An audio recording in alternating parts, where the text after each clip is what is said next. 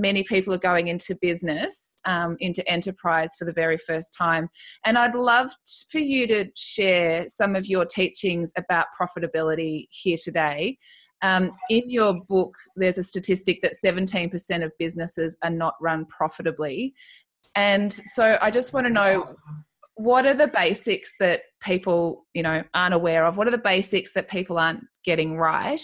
Um, and, you know, how can we you know how can we really shift this in terms of you know all of the great people that are that are coming out of the corporate space into you know running their own enterprises mm. Yeah, the statistic is actually over 80% of businesses are not profitable or at break even, um, which is the most dismal statistic ever. And, you know, so many, um, you know, small businesses open and close, you know, within, a, you know, very few years.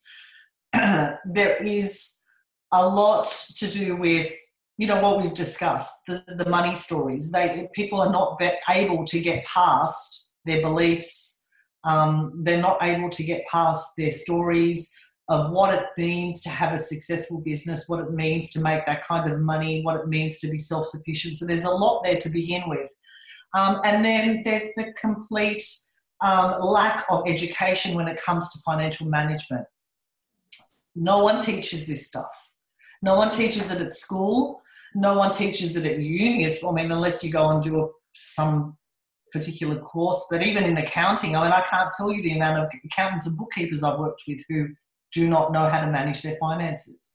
Um, it, it's, it's astounding. Uh, and the greater community out there um, does not know how to manage their money properly. That's why we have so many people in debt, so many people with massive consumer debt, um, you know, massive amounts of mortgages out there. You know, basically, if the rates went up a little bit, people would go under.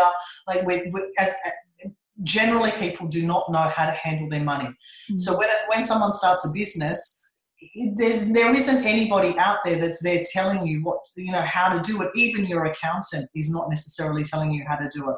So when i started my business um, I was I was helping my clients and I was trying to get this message across to them about you know profitability. And then I read a book called Profit First which I recommend everybody read. It's a book by Mike Michalowicz and as soon as I read this book I reached out to Mike and I said, I have to work with you. What what are you doing? And he said, I'm putting together a profit first community, and I became a profit first professional. And it, it's it's a very simple process of making sure that your business is profitable by allocating funds to different accounts.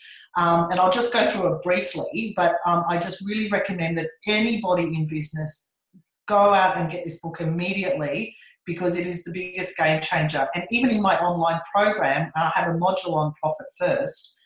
People will write to me as soon as that module um, lands and they will go, Oh my God, it changed everything. So it's about just transferring money out of the one business account, which most people have. Um, when you have all your money in one account, it's really easy to lose track of it. So a lot of the time, people will have money in that account. Say there's $10,000 in that account that's landed from an invoice that you sent out.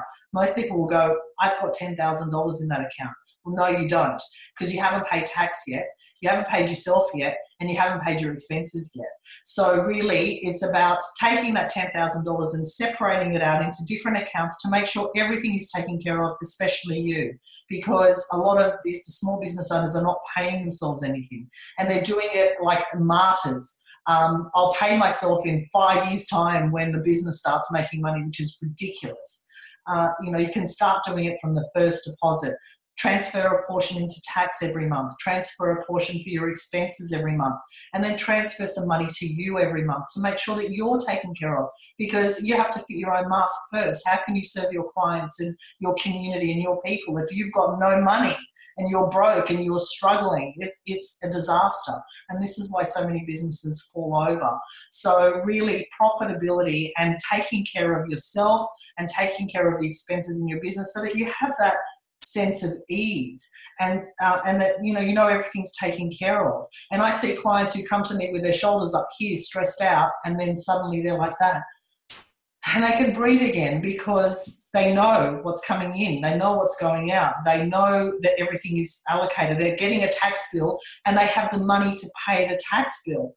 And that is like revolutionary for so many people because that can send people into a downward spiral and even broke. So. This is critical for all businesses, big and small. And if you start doing it straight away, you don't have to wait till I, I wait till my business. I hear this one too. I'll wait till my business is making money first before I implement this system. No, your money will not make money. Your business will not make money until you implement the system. So um, I could go on and on about this, but just really everyone in the community should read this book. It is a game changer.